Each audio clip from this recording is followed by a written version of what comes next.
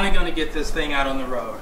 This is the 997.1 911 Carrera 4 that I've been promising and promising and promising.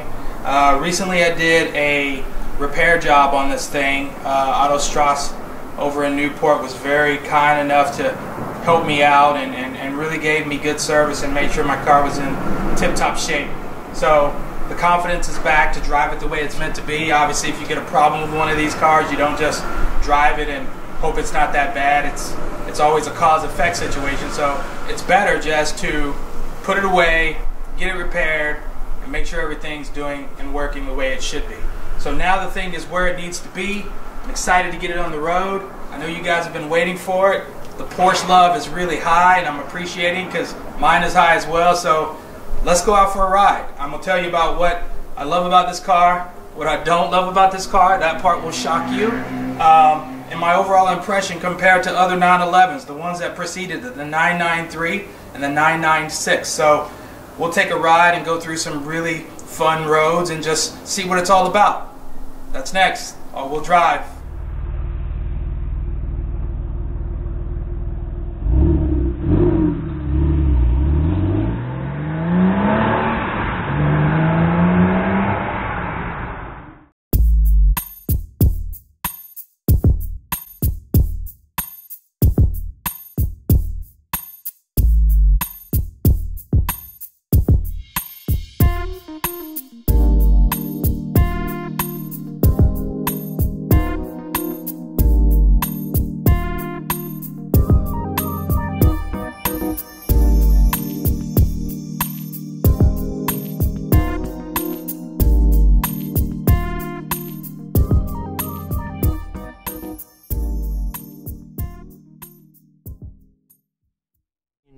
Had this car for a little over two years, and there's not really been a moment where I felt like it doesn't deliver on the promise or that it doesn't give me the driving thrill that I expected from it. Originally, when I planned to buy a Porsche, and that was for my specific birthday uh, when I hit 40 something, and I was to wait, and then I found this car a year earlier than my plan And anyone who knows me knows that if I just say, if I say I'm just going to go look at a car, I'm probably in the position to say I'm going to buy that car. So I went to just look at this car. An hour later, I'm calling my wife. Hey, so uh, she's like, you bought a car. How did you know that? Well, because I told her I was just going to go look at it.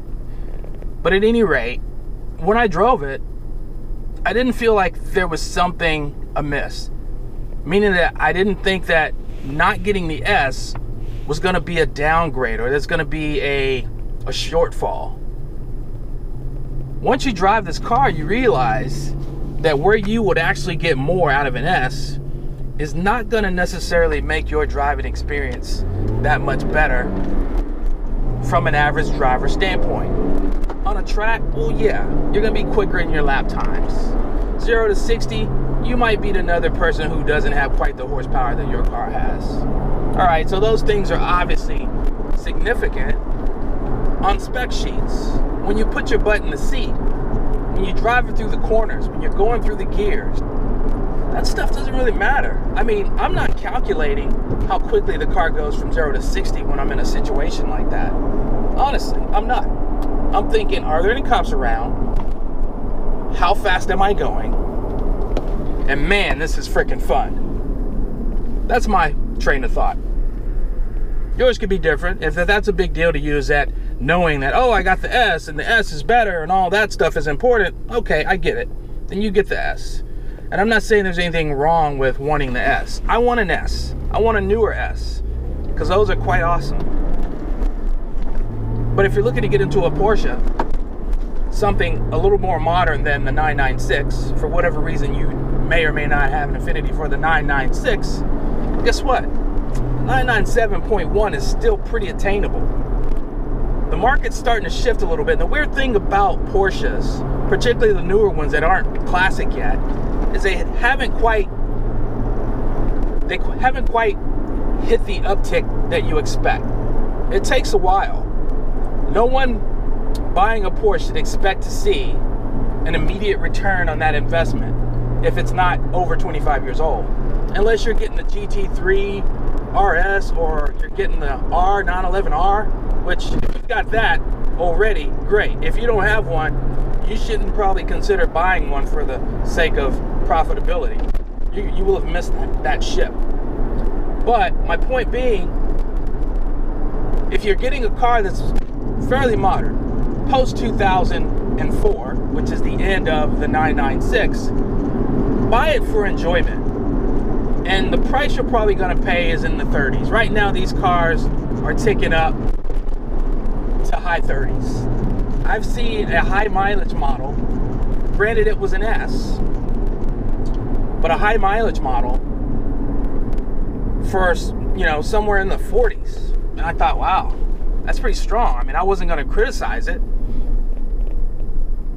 but it's possible that that car could be worth that. I mean, depending on what work has been done, the state of uh, condition, the owner record, it might be. And let's be honest, a high mileage car doesn't mean that it's a foregone car. Doesn't mean that it doesn't have the ability to still impress. If you've done all your work, acceleration is still acceleration, my friend.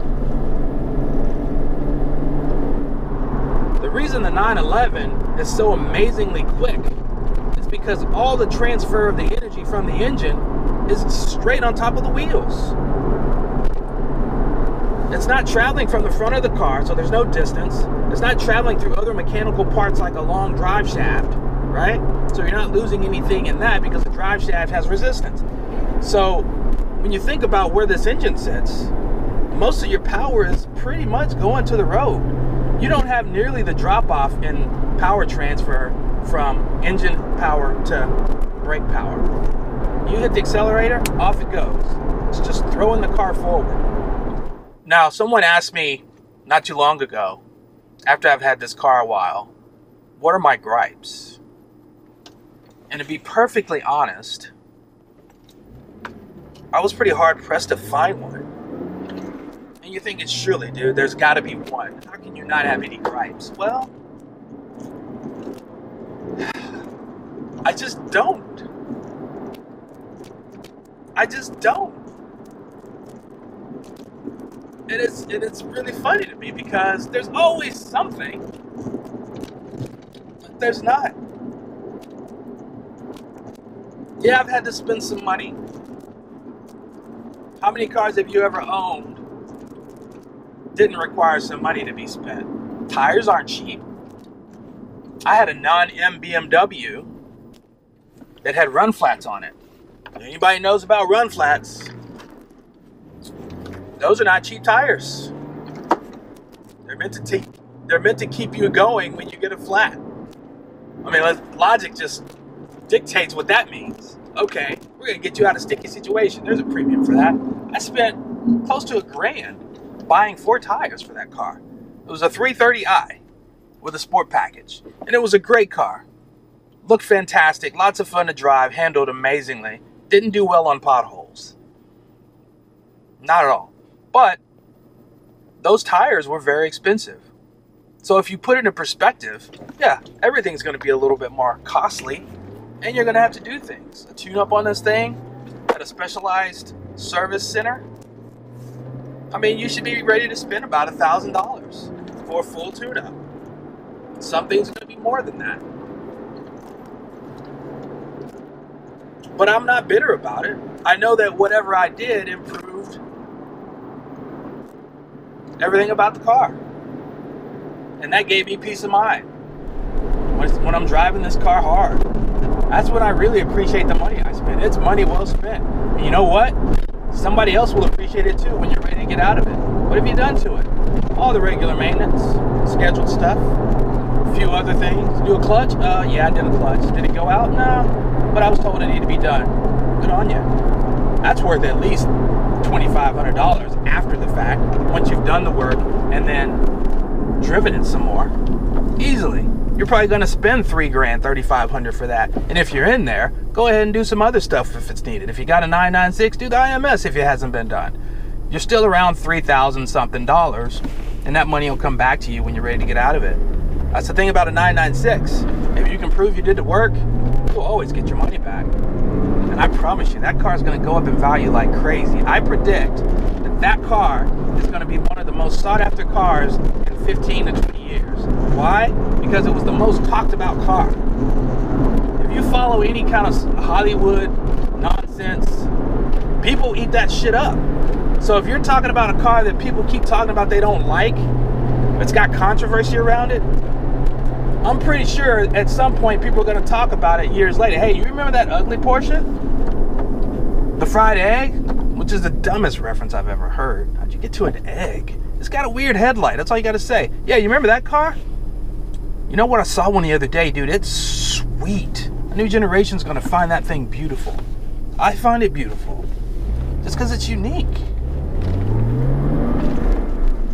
So if you got to spend a little money, and that doesn't make the taste of the the fruit bitter. Just means that the fruit's fresher. And this thing right now, uh, it's very fresh, my friend. So quick.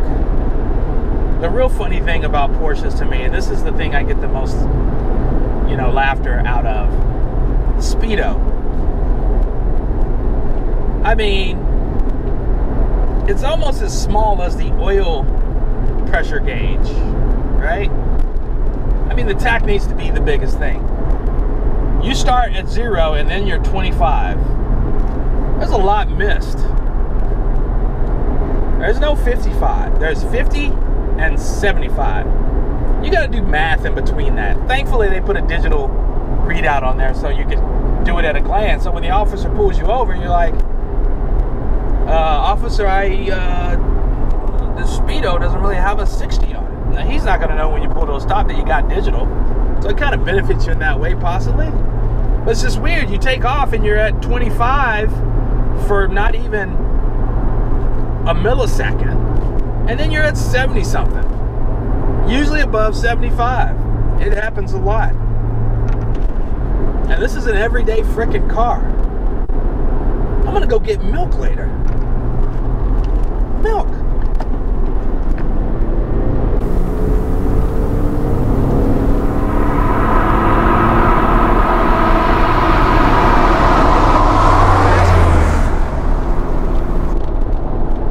She's hugging the road, Captain.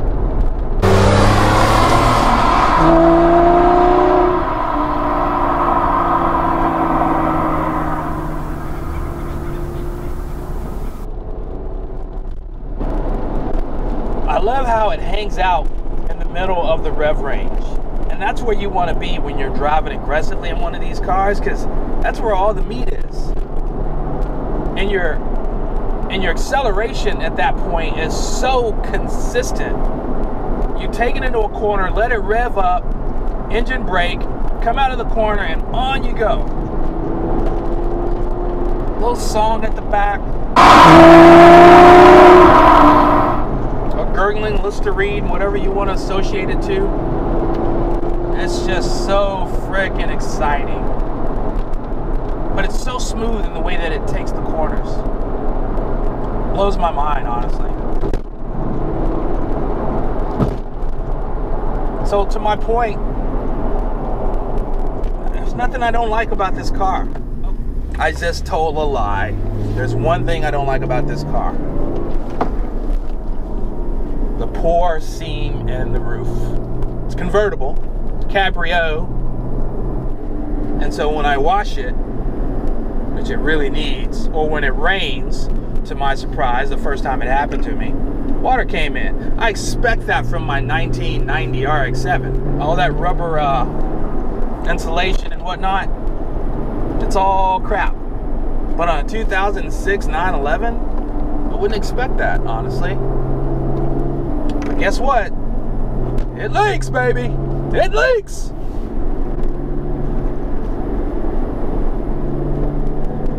And that's it. That's all. That's it. That's the only thing I don't like about this car. That's it. I kid you not. I'm not just saying that. I'm not. Porsche isn't paying me right now. Porsche, if you'd like to pay me right now, I'd be glad to receive that. But I'm not. I'm not kidding. I there's nothing I don't like about this car, or should I say, there's nothing I dislike about this car.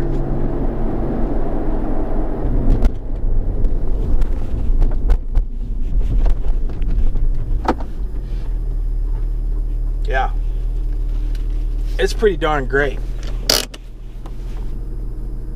I'm really glad I had a chance to have this car. This is the first Porsche I ever bought, so it's kind of special to me in a way. It's not special in the sense that I won't be able to let it go.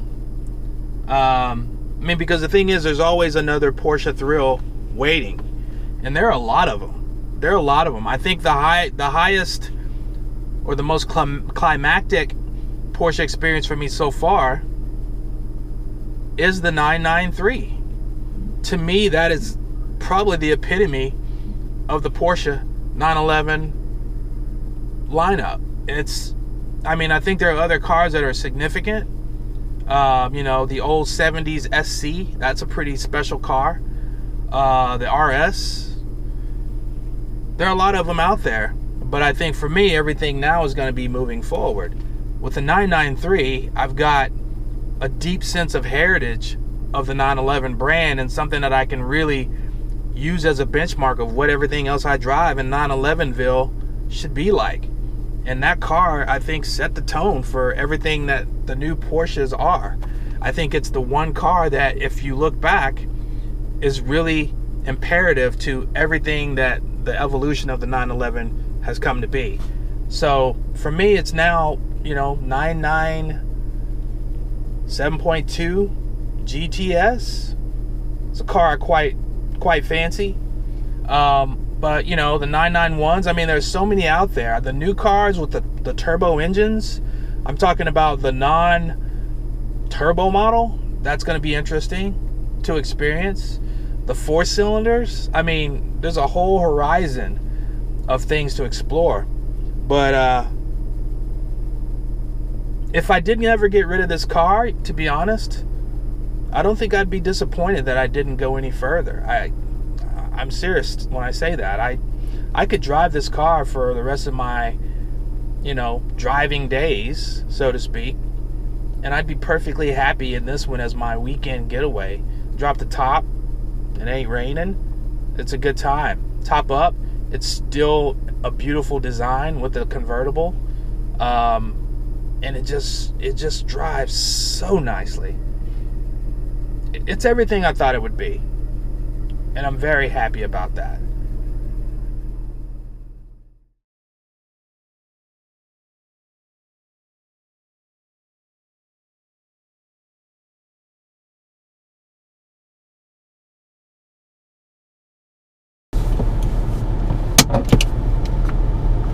One of my favorite things about this car, aside from its looks its handling, its engine, its quality.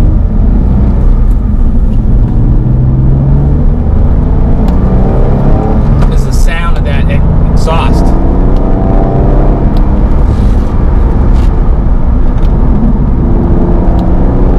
It sounds like it could be a V8 or, or something.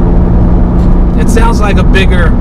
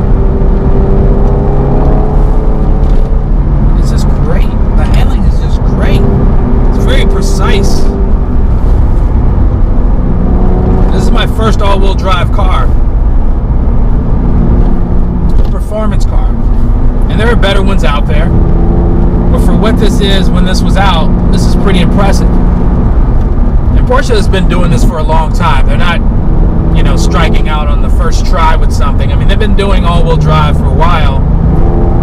And every iteration gets better. Everything they put out has been pretty good. And this being as good as it is, I'm sure that what came before it was pretty good. This is pretty damn good. And I'm sure the latter ones are absolutely amazing, especially with that rear steering characteristic that they have now. Oh. It just pulls you through the corner and then out of the corner. The front wheels dig in and it's like, all right, let's go. It's great. It is so great.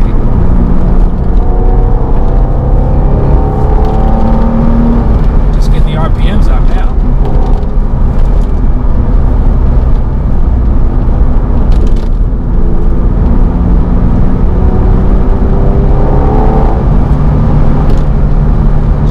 Big corner.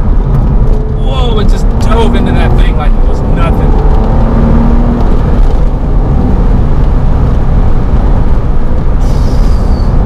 this thing is sick.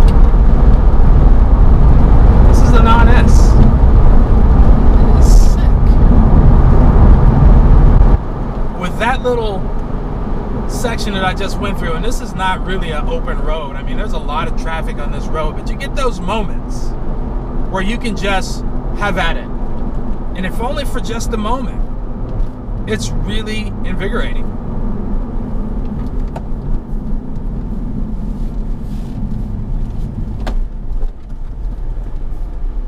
And given how it performed just there, you know, this is a convertible, a cabrio. It's not really suited for track. I mean, honestly, it's heavier, it's noisier, it's less rigid. But I'm so confident in the way this thing goes about its business. I think I would do it. I think I would take on the track with this car.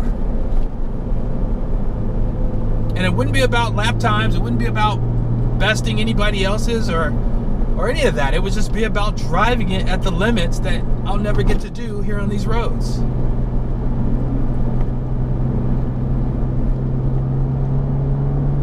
I'd be 100% satisfied with it as it is. I've modified nothing on this car. There's no intake. There may be a K&N air filter in there. I've never even looked. I've not put one in it. The exhaust is a performance exhaust. It's a factory install feature. The button in, in here indicates that it came from Porsche. Because that was an add-on item. Man, this came off of the Carrera S. And it sounds amazing on this 3.6.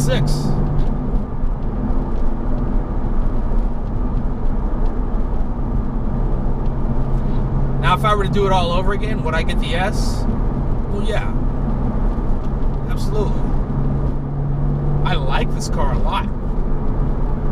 I like the Carrera S a lot more because it is more. But do I regret not getting it over this? Hell no.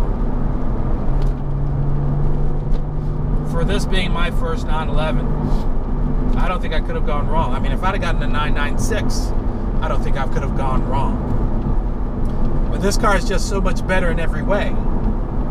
Engine's got a little bit more juice, not much. It's still the same 3.6, but just a little bit more.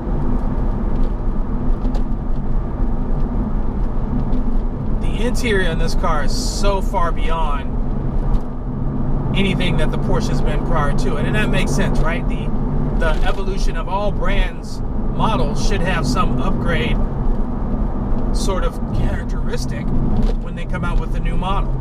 It should be. But when you think about the 996 as an improvement on the 993, I'm not sure I'm there. The 996 is a very unique interior, and it was meant to be a cleaner layout, a little bit more form-fitting and ergonomic. But I don't think it was necessarily better.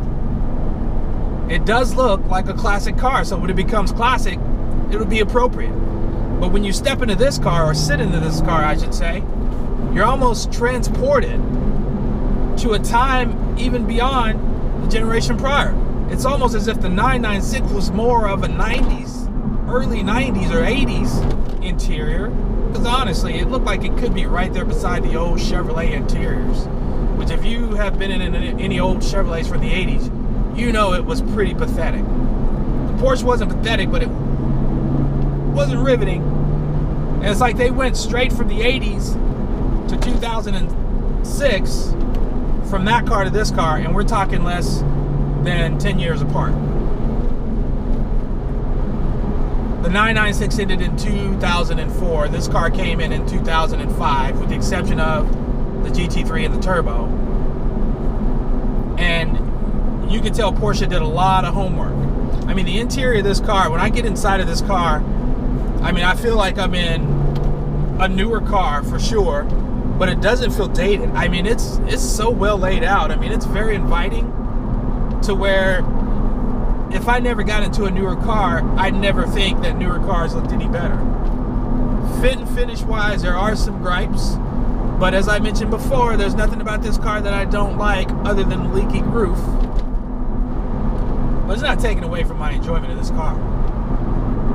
Compared to the 993, it's just as comfortable. Maybe a little more because you have an armrest.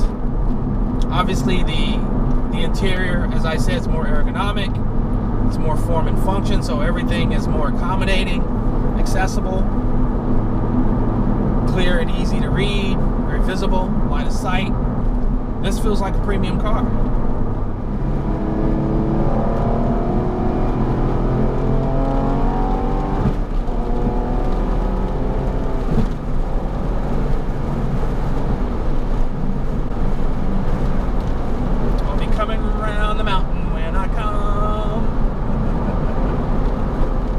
a fun car, man. Car. I'm sorry it took so long to do the video, but I had to do the repair, and I still don't know what the hell that thing was. So is this little rubber bearing or bushing goes somewhere in the drive shaft, somewhere in there. I didn't have a, a main seal leak, which is what I thought it was because the oil was it's quite a bit coming out. It's interesting that that little thing fixed it but an interesting repair and, and, and it's done and so I feel completely confident to drive the snot out of this thing. And that's what they're meant to be you know driven like. That's how you're meant to drive them just they come from Germany man. They got an autobahn. You open your car up and just go. So this is what this thing is made for and, and I enjoy doing it. Let me just tell you